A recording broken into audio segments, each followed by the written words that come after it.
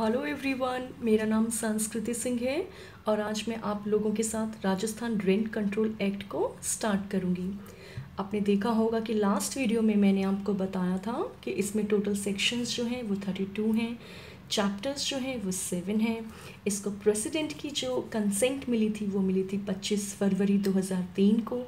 और इन्फोर्समेंट में ये आया था एक अप्रैल 2003 को, ठीक है? और जो इसमें अमेंडमेंट हुई है 2017 में जो हुई है by the act number 33 of 2017 में जो इसमें अमेंडमेंट हुई है, उसमें आपने देखा है कि कुछ सेक्शंस को इंसर्ट कर दिया गया है मतलब ऐड कर दिया गया है और दो चैप्टर्स भी ऐड कर दिए गए हैं। तो देखा जाए तो जो टोटल जो इनकी नंबरिंग है, वो इन्हांस हो गई है। बत्तीस से लेकर फोर्टी थ्री तक और सात से नौ तक। लेकिन जो आपको चैप्टर्स के नाम हैं, वो आपको ऐसे ही याद रखने हैं कि क्योंकि टोटल जो चैप्टर हैं, वो सिर्फ़ सात ही गिवन है और सेक्शंस की जो नंबरिंग है, वो बत्तीस तक ही गिवन है। ओके चलिए स्टार्ट करते हैं। राजस्थान रेंट कंट्रोल एक्ट 2001 ये इसका एक्ट नंबर वन है, लेकिन ऑफ़ 2003 है, क्योंकि जो इसको कंसेंट मिली थी और जो ये इन्फोर्समेंट में आया था, ये 2003 में आया था। इसके बाद आपने देखा कि जो इसको कंसेंट मिली थी, वो आपके प्रेसिडेंट से मिली थी और कब मिली थी? 25 फरवरी 2003 को। आपको यहाँ जो याद रखना है, वो ये याद रखना है कि इस एक्ट को 2001 का जो राजस्थान रेंट कंट्रोल एक्ट है, इसको जो कंसेंट मिली थी, वो प्रेसिडेंट से मिली थी, ना कि गवर्नर से मिली थी। और वो कब मिली थी? वो आपके 25 फरवरी 2003 को मिली थी। तो इससे प्रॉब्लम्स का जो क्वेश्चन है, वो कवर हो सकता है। तो आपको ये डेट ये याद रखनी होगी। उसके बाद हम करेंगे चैप्टर वन जिसका नाम है प्रिलिमिनरी और इसमें कितने सेक्शंस आते हैं? वन टू फाइव सेक्शंस इसमें आते हैं। आपने देखा सेक्शन वन जो है, वो तीन चीज़ों की बात करता है। कौन कौन सी? Short title extent and commencement की। सेक्शन वन में तीन चीज़ें कवर होती हैं। Short title extent and commencement और इसमें तीन क्लॉजेस गिवन है। वन टू एंड थ्री तो क्लोज वन में क्या गिवन है? इसका टाइटल गिवन है। आप देखिए इसमें लिखा हुआ है, the Rajasthan rent control act 2001 तो जो ये एक्ट है, इसका ये शॉर्ट टाइटल क्या हुआ? इसका शॉर्ट टाइटल ये हुआ कि this act may be called as the Rajasthan rent control act 2001 उसके बाद क्लोज टू क्या कहता है? क्लोज टू कहता है कि जो राजस्थान रेंट कंट्रोल एक्ट 2001 है, उसका एक्सटेंट कहाँ तक होगा? उसका जो विस्तार है वो कहाँ तक होगा? तो टू बताता है कि फ़र्स्ट इंस्टेंस में मतलब फ़र्स्ट इंस्टेंस में आपको ये जो क्लोज टू है, इसको आपको टू पार्ट्स में देखना होगा। नंबर वन कि इट शैल एक्सटेंड यहाँ पे वर्ड शैल लिखा है मतलब इट इज़ मैंडेटरी ये कंपल्सरी है कि फ़र्स्ट इंस्टेंस में राजस्थान रेंट कंट्रोल एक्ट 2001 जो है वो एक्सटेंड होगा उन म्यूनिसिपल एरियाज़ पे जो कि डिस्ट्रिक्ट हेडक्वार्टर्स में आते हैं स्टेट के। ठीक है? और उसके बाद लेटर ऑन ये जो सेकंड पार्ट है, इस क्लाउज का वो ये है कि later on other municipal areas पे भी ये लग सकता है, अगर स्टेट गवर्नमेंट चाहे तो। यहाँ पे वर्ड में लिखा है तो आपको इस क्लोज को टू पार्ट्स में करना है। पार्ट वन ये शैल सेकंड मे तो शैल के लिए क्या है? कि फ़र्स्ट इंस्टेंस के लिए तो ये एप्लीकेबल होगा ही होगा। कहाँ पर? म्यूनिसिपल एरियाज़ में, जो कि कंप्राइजिंग है डिस्ट्रिक्ट हेडक्वार्टर्स में स्टेट के डिस्ट्रिक्ट हेडक्वार्टर्स में। एंड लेटर ऑन अगर स्टेट गवर्नमेंट चाहे तो इस एक्ट को अप्लाई करवा सकती है दूसरे म्यूनिसिपल एरियाज़ पे। लेकिन ये स्टेट गवर्नमेंट की डिस्क्रिशनरी पावर है। आपने देखेंगे आगे कि म्यूनिसिपल एरियाज़ कहाँ आता है? ये सेक्शन टू ई में इसका ज़िक्र कर रखा है। लेकिन टू ई में सिर्फ़ एक डिक्लेरेशन गिवन है, जो हम डेफिनेशन आगे पढ़ेंगे। तो इस म्यूनिसिपल एरिया को आपको इसके साथ पढ़ना होगा। Section two clause thirty nine of the municipalities act two thousand nine clear आपको ये चीज़ें साथ साथ याद करके चलनी है। तो उसके बाद क्लास थ्री क्या कहता है कि ये इन्फोर्समेंट में कब आया था? तो इन्फोर्समेंट में आया था एक अप्रैल 2003 को। आपने देखा कि हमने सेक्शन वन में तीन चीज़ें पढ़ी हैं, जैसा कि इसके हेडिंग में गिवन है। क्या? शॉर्ट टाइटल इसका एक्सटेंट इसका कमेंसमेंट और इसमें तीन ही क्लॉजेस गिवन है। नंबर वन क्या कहता है? This act may be called the Rajasthan rent control act 2001 ये इसका शॉर्ट टाइटल हुआ। क्लास टू ये कहता है कि ये कहाँ कहाँ एक्सटेंड होगा। तो क्लास टू को आपको दो तरह से पढ़ना है। एक तो वर्ड शैल लिखा है, दूसरा वर्ड मे लिखा है। तो शैल किसके लिए एप्लीकेबल है? शैल है फ़र्स्ट इंस्टेंस में ये कहाँ लगेगा? ये उन म्यूनिसिपल एरियाज़ पे लगेगा जो कि डिस्ट्रिक्ट हेडक्वार्टर्स में है स्टेट के। और लेटर ऑन ये कहाँ लगेगा? कहते लेटर ऑन जो है, वो अदर म्यूनिसिपल एरियाज़ पे लग सकता है अगर स्टेट गवर्नमेंट चाहे तो। ठीक है? एंड क्लोज थ्री क्या कहता है कि इन्फोर्समेंट में कब आया था? ये इन्फोर्समेंट में आया था आपके एक अप्रैल 2003 को।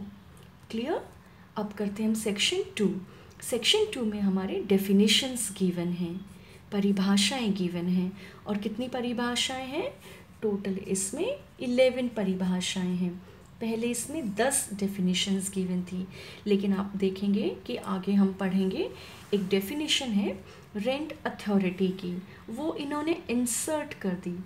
कब इंसर्ट की इन्होंने? इन्होंने इंसर्ट की 2017 के एक्ट के थ्रू उसको इंसर्ट कर दिया, जो कि इन्फोर्समेंट में आई 18 अक्टूबर 2010 को। तो इसमें टोटल डेफिनेशंस कितनी है सेक्शन टू में? 11 डेफिनेशंस हैं तो हम वन बाय वन कवर करते चलेंगे। फ़र्स्ट डेफिनेशन है एम्यूनिटीज़ एम्यूनिटीज़ का मतलब क्या होता है? सुख सुविधाएँ। तो टू ए में आपके एम्यूनिटीज़ गिवन है। एम्यूनिटीज़ का मतलब सुख सुविधाएँ। आपको जो बात यहाँ पे याद रखनी है, वो ये है कि इस डेफिनेशन में सुख सुविधाएँ जो हैं वो कोई उनकी परिभाषा गिवन नहीं है कि सुख सुविधाएँ होती क्या हैं। ऐसा नहीं लिखा हुआ है। इन्होंने लिखा हुआ है कि एम्यूनिटीज़ में क्या क्या आता है इंक्लूड्स क्या क्या है। ठीक है, क्या ये इंक्लूड क्या करता है? इसके अंतर्गत क्या चीज़ें आती हैं? तो आप देखो एम्यूनिटीज़ में क्या क्या आती हैं? सबसे पहले सप्लाई किसकी? पानी की और बिजली की। क्योंकि वाटर और इलेक्ट्रिसिटी दोनों मस्ट है। उसके बाद पैसेज मतलब रास्ता भी हमें चाहिए। तीसरा, सीढ़ियाँ स्टेयर केस भी हमें चाहिए। चौथा, हमें नेचुरल लाइट भी, प्राकृतिक प्रकाश की भी हमें आवश्यकता पड़ेगी। उसके बाद लेवेट्रीज मतलब शौचालय, उसकी भी ज़रूरत पड़ेगी। लिफ्ट लिफ्ट भी जो है एम्यूनिटीज़ की परिभाषा में आ सकता है। उसके बाद है कंजर्वेंसी सफ़ाई फिर सैनिटरी सर्विसेज़ उसके बाद telephone services and then TV cable services और उसके बाद लिखा है और द लाइक like, मतलब ऐसे ही चीज़ें और भी इसमें सम्मिलित की जा सकती हैं। तो आपने देखा सेक्शन टू के ए में हमने एम्यूनिटीज़ को पढ़ा। और एम्यूनिटीज़ का मतलब होता है सुख सुविधाएँ तो सुख सुविधाएँ जो हैं, उसके अंतर्गत क्या क्या आती हैं? उसके अंतर्गत टोटल ग्यारह चीज़ें आती हैं। टोटल ग्यारह सुख सुविधाएँ आती हैं। सबसे पहले, बिजली और पानी की सुविधा। दूसरा, पैसेज। रास्ता। तीसरा, सीढ़ियाँ। फोर्थ नेचुरल लाइट पांचवा लेविट्रीज छठा लेफ़्ट सातवां कंजर्वेंसी मतलब सफ़ाई। और सात आठवां सैनिटरी सर्विसेज़ नोवा टेलीफोन सर्विसेज़ और दसवां आपके टीवी केबल सर्विसेज़ और द लाइक ऐसे ही और चीज़ें भी इसमें आ सकती हैं। तो बहुत इजी है, इनको आप टिप्स पे याद करना कि एम्यूनिटीज़ में क्या क्या आता है। Supply of water and electricity फिर आपका पैसेज स्टेयर केस आपके लिफ्ट फिर आपकी नेचुरल लाइट आती है इसमें। फिर आपकी कंजर्वेंसी और सैनिटरी सर्विसेज़ आती हैं। फिर आपकी टेलीफोन और केबल सर्विसेज़ आती हैं और ऐसी और भी चीज़ें आ सकती हैं। ठीक है? उसके बाद क्लाउस बी जो क्या कहता है? एपिलेट रेंट ट्राइब्यूनल आपने देखा होगा कि इंग्लिश में जो है, ये जो एम्यूनिटीज़ हैं एपिलेट हैं, ये अल्फ़ाबेटिकली चलेंगी। लेकिन हिंदी मीडियम वालों के लिए ऐसा नहीं है। But hardly makes any difference चीज़ें याद हो जाती हैं। अगर आप उन्हें बार बार रिवाइज करेंगे तो चीज़ें ऑब्वियसली आपको याद हो जाएँगी। तो बी में क्या है? Appellate rent tribunal appellate rent tribunal constituted under section 19 इन्होंने एपिलेट रेंट ट्राइब्यूनल को डिफाइन नहीं किया हुआ है। बट इन्होंने सिर्फ़ एक डिक्लेरेशन दी है कि एपिलेट रेंट ट्राइब्यूनल वो होगा जो कि सेक्शन 19 में गिवन है। हम वहाँ उसको फर्दर डिटेल से पढ़ेंगे। अब section two C two C में क्या है हमारा? लैंडलॉर्ड आपको डेफिनेशन ये इंपॉर्टेंट है। डेफिनेशन से डायरेक्ट क्वेश्चन भी पूछ लिया जाता है। और आपको ये डेफिनेशन वैसे भी याद रखनी है क्योंकि पूरे एक्ट में आप तीन चार चीज़ें पढ़ते हैं landlord tenant rent tribunal appellate rent tribunal rent authority तो आपको इनके जो क्लाउजेस हैं वो याद होने चाहिए। ताकि जब भी लैंडलॉर्ड पूछा जाए या आप लिखें तो आप ब्रैकेट में इसको टू सी करके लिख दें, ताकि एग्जामिनर को ये लगे कि यस बच्चे को याद है कि लैंडलॉर्ड की डेफिनेशन कहाँ है। This is the way to enhance your marks इसके बाद हम पढ़ेंगे लैंडलॉर्ड ठीक है? लैंडलॉर्ड का मतलब क्या है? एनी पर्सन क्या कह रहा है? एनी पर्सन आप देखिए लैंडलॉर्ड की डेफिनेशन को भी हम टू पार्ट्स में करेंगे. नंबर वन यहाँ से एंड नंबर टू यहाँ से. तो लैंडलॉर्ड का मतलब होता है कोई भी पर्सन वो पर्सन जो कि रिसीव कर रहा है रेंट को, या एंटाइटल्ड टू रिसीव है। किसके लिए एंटाइटल्ड है? रेंट के लिए।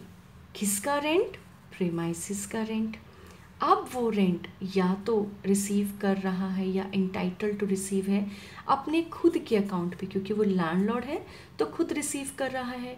अगर वो लैंडलॉर्ड ना होकर लैंडलॉर्ड का एजेंट भी हो सकता है ट्रस्टी भी हो सकता है, गार्डियन भी हो सकता है और रिसीवर भी हो सकता है।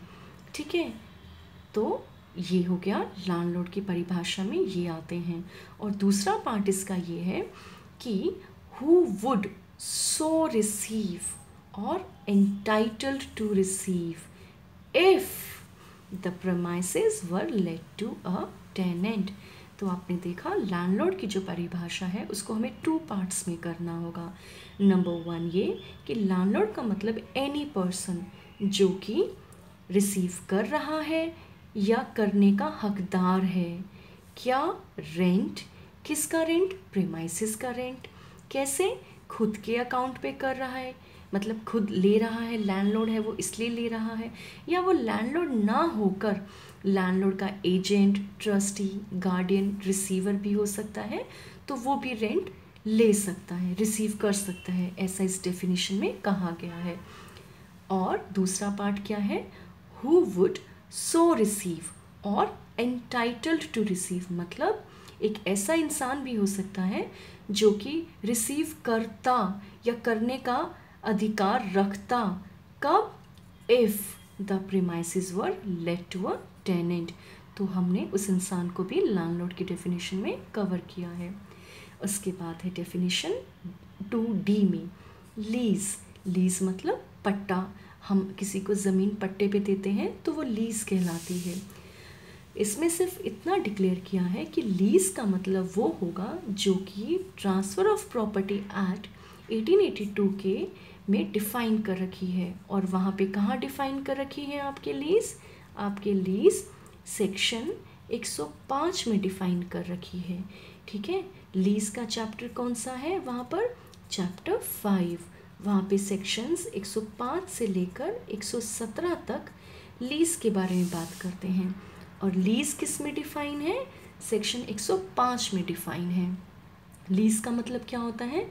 लीज का मतलब होता है कि जब कोई एक इंसान दूसरे इंसान को एक प्रेमाइसिस मतलब एक लैंड लीज के लिए ज़रूरी है इमूवेबल प्रॉपर्टी का होना। तो इमूवेबल प्रॉपर्टी को, जब आप इमूवेबल प्रॉपर्टी का जो राइट है, वो किसी को ट्रांसफ़र करते हो माइंड इट यहाँ पे ऑनरशिप ट्रांसफ़र नहीं हो रही है, यहाँ पे सिर्फ़ राइट टू एन्जॉय ट्रांसफ़र हो रहा है। जो लेसर है, वो अपनी ज़मीन किसी को देता है कि अपना तुम राइट जो है, वो किसी को देता है कि तुम इस लैंड को इन्जॉय करो सर्टेन टाइम के लिए या परपेचुटी के लिए। कंसिड्रेशन लेगा उसके बदले में वो क्या होगी? Price money share of crops तो ये सब चीज़ें हैं। तो सेक्शन 105 ऑफ़ टीपीए में आपके लीज डिफाइन है। और यहाँ पे लीज कहाँ दे रखा है? टू डी में दे रखा है। इन्होंने लीज को डिफाइन नहीं किया हुआ। इनफैक्ट इन्होंने सिर्फ़ एक डिक्लेरेशन दी है कि लीज जो है, वो क्या होती है? वो डिफाइन है। ट्रांसफ़र ऑफ़ प्रॉपर्टी एक्ट में सेक्शन 105 में डिफाइन है। वहाँ चैप्टर फाइव जो है, वो लीज की बात करता है। उसमें सेक्शंस 105 से लेकर 117 तक आते हैं। क्लियर उसके बाद टू ई। टू ई में क्या है यहाँ पर? म्यूनिसिपल एरिया म्यूनिसिपल एरिया ये भी एक डिक्लेरेशन की बात करते हैं कि म्यूनिसिपल एरिया का मतलब वो होता है जो कि डिफाइन है राजस्थान म्यूनिसिपैलिटीज़ एक्ट 2009 में। तो जब आप वो एक्ट देखेंगे तो उस एक्ट के सेक्शन नंबर टू में क्लॉज थर्टी नाइन में जो है, इसका डेफिनेशन दे रखा है म्यूनिसिपल एरिया का। उस डेफिनेशन में भी एक डिक्लेरेशन दे रखी है कि म्यूनिसिपल एरिया वो टेरिटोरियल एरिया होगा जिसको state government time to time specify करती है। लेकिन फॉर द टाइम बीइंग आपको ये चीज़ यहाँ पर याद रखनी है कि टू ई में म्यूनिसिपल एरिया गिवन है और ये बताते हैं कि म्यूनिसिपल एरिया क्या होगा।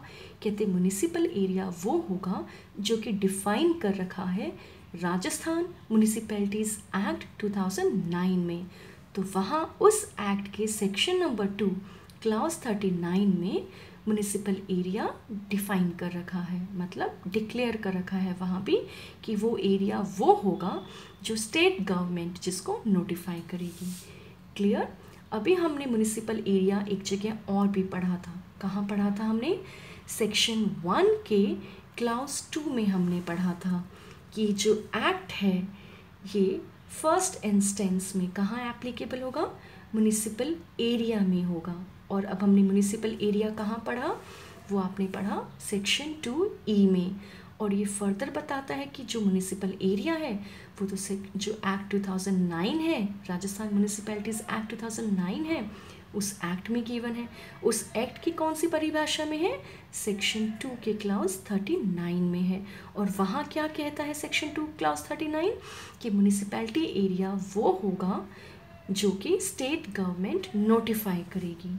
क्लियर चलिए, आगे चलते हैं। प्रेमाइसिस अब आप देखेंगे, इसमें प्रेमाइसिस का डेफिनेशन जो है टू एफ़ में दे रखी है। प्रेमाइसिस का मतलब क्या होता है? परिसर। ठीक है? परिसर। और वो किसमें है? टू एफ़ में है। प्रॉब्लम्स के पॉइंट ऑफ़ व्यू से भी डेफिनेशन इंपॉर्टेंट है। पूछ सकते हैं कि प्रमाइसिस किसमें दे रखा है तो आपको वो ऑप्शन दे देंगे। ए में बी में सी में या एफ़ में तो आपको बताना होगा टू एफ़ में गिवन है। हम जब ये एक्ट को कंप्लीट कर लेंगे तो उसके बाद हम इसके एम भी करेंगे।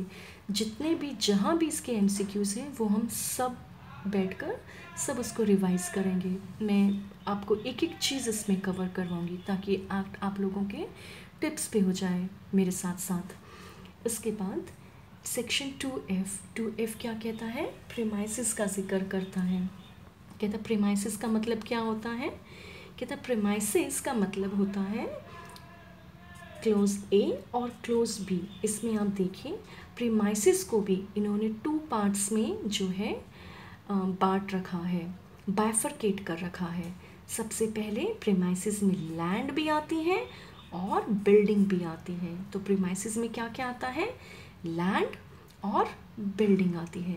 तो सबसे पहले हम देखेंगे, इसमें कह रहे हैं प्रीमाइसिस का मतलब एनी लैंड लेकिन not being used for agricultural purpose इन्होंने पहले ब्रॉड डेफिनेशन दी कि प्रीमाइसिस का मतलब एनी लैंड कोई भी भूमि। लेकिन बाद में इन्होंने अपनी डेफिनेशन को रिस्ट्रिक्ट कर दिया ये कहकर कि लैंड तो कोई भी हो सकती है, लेकिन वो लैंड नहीं होगी जो कि एग्रीकल्चर पर्पस के लिए इस्तेमाल की जाती है। और उसके बाद एंड दूसरा एनी बिल्डिंग और पार्ट ऑफ़ बिल्डिंग दूसरा प्रीमाइसिस में क्या आता है? बिल्डिंग और पार्ट ऑफ़ बिल्डिंग या तो पूरी एक बिल्डिंग हो, या बिल्डिंग ना हो कि उसका कोई एक पार्ट उसका एक हिस्सा भी जो है प्रेमाइसिस के डेफिनेशन में आता है। लेकिन फिर उन्होंने जो है इस डेफिनेशन को रिस्ट्रिक्ट कर दिया ये कहकर कि other than farm building building तो होगी, लेकिन अदर देन फार्म बिल्डिंग होगी। तो आपने दो चीज़ें देखी। प्रीमाइसिस का मतलब any land but not use for agriculture purpose दूसरा एनी बिल्डिंग और part of building but other than farm building तो आपको ये दो चीज़ें याद रखनी है, ये प्रिलिम्स का क्वेश्चन भी बनता है। आप यहाँ पर अपने उसके ऊपर बैरेट के ऊपर पीटी लिख लीजिए। उसके बाद इस डेफिनेशन को हम कंटिन्यू करते हैं।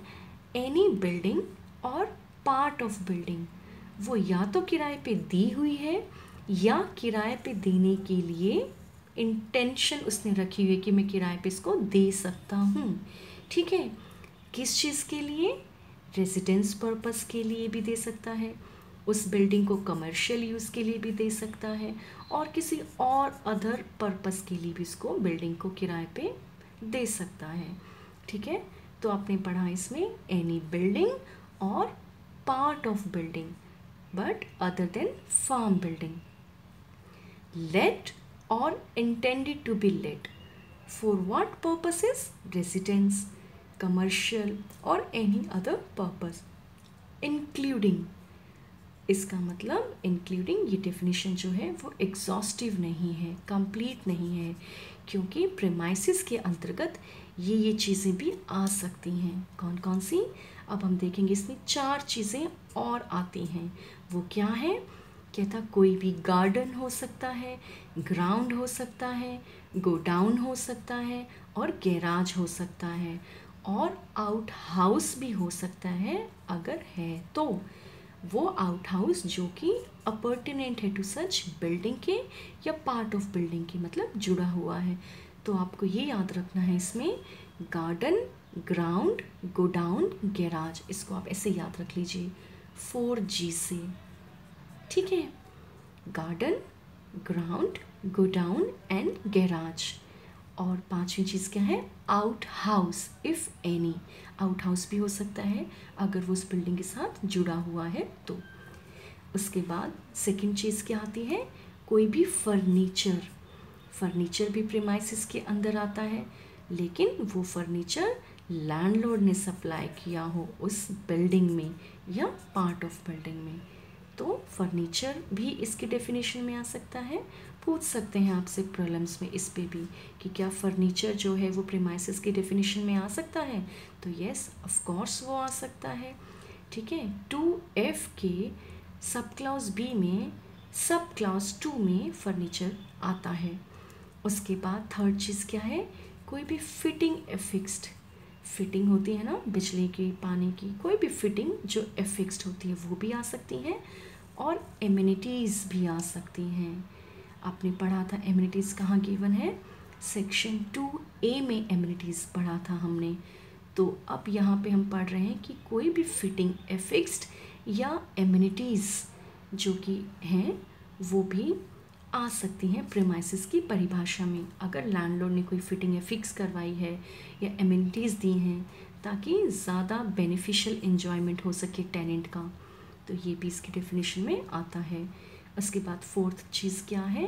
एनी लैंड कोई भी लैंड जो कि अपर्टिनेंट हो, जुड़ी हुई हो उस बिल्डिंग से या उसके पार्ट से और उसको लेट कर रखा हो विद सच बिल्डिंग मतलब उसको भी किराए पे दे रखा हो। तो ये भी जो है वो प्रीमाइसिस की डेफिनेशन में आएगी। हमने ऊपर पढ़ा था एनी लैंड तो एनी लैंड यहाँ भी आ गई। लेकिन यहाँ भी लैंड आ गई।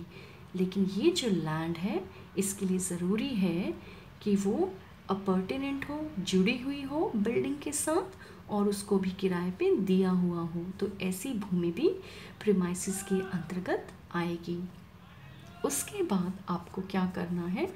अभी तक तो हमने ये पढ़ा था कि प्रेमाइसिस में क्या क्या आता है। अब हम पढ़ेंगे प्रेमाइसिस में क्या क्या नहीं आता है। तो यहाँ से भी आपका प्रिलिम्स का क्वेश्चन बनता है कि इसमें क्या क्या नहीं आता है। अब हम इसमें देखेंगे इसमें क्या नहीं आता है। तो इसमें दो चीज़ें नहीं आती हैं। एक तो रूम और दूसरा अदर एकोमोडेशन ठीक है? एक रूम नहीं आता और एक अदर अकोमोडेशन अकोमोडेशन का मतलब भी रहने की जगह ही होती है। ठीक है? तो ये दो चीज़ें नहीं आती। और ये दो चीज़ें किसमें नहीं आती? होटल में नहीं आती। धर्मशाला में नहीं आती इन में नहीं आती, सराय में नहीं आती लॉजिंग में नहीं आती बोर्डिंग हाउस में नहीं आती और हॉस्टल में नहीं आती।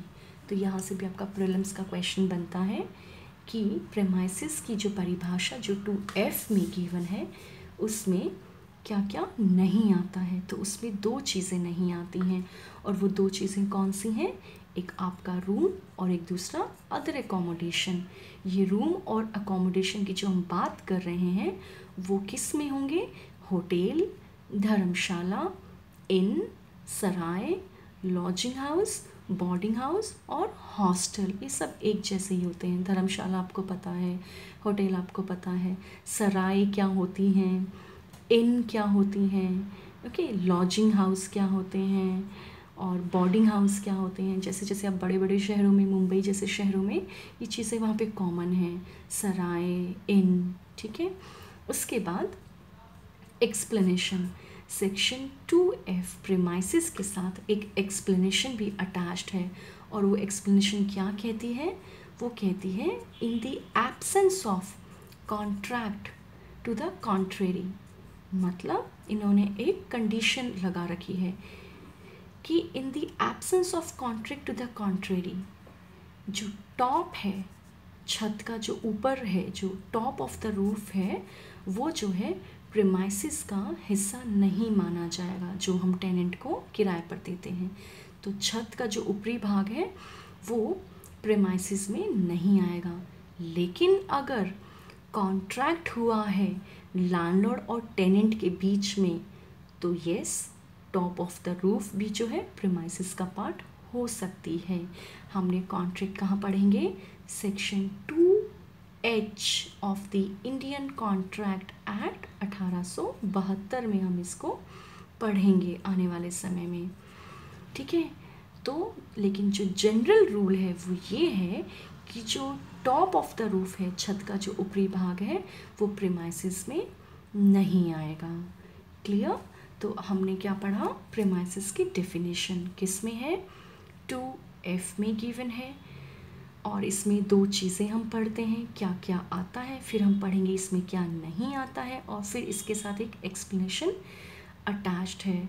मेरी आप सभी से रिक्वेस्ट है कि आप इसको रिवाइज़ करें। बार बार जितना आप इसको रिवाइज़ करेंगे, जितनी बार इसकी मेंटल रिवीजन करेंगे, चीज़ें आपको टिप्स पे हो जाएँगी। क्लियर अगर आपको कोई भी डाउट हो तो प्लीज़ आप मुझे मैसेज भी कर सकते हैं और पूछ भी सकते हैं। लेकिन मेरी आप सबसे रिक्वेस्ट है कि पढ़ते समय आप अपने बैरैक्ट को लेकर बैठिए। Okay thank you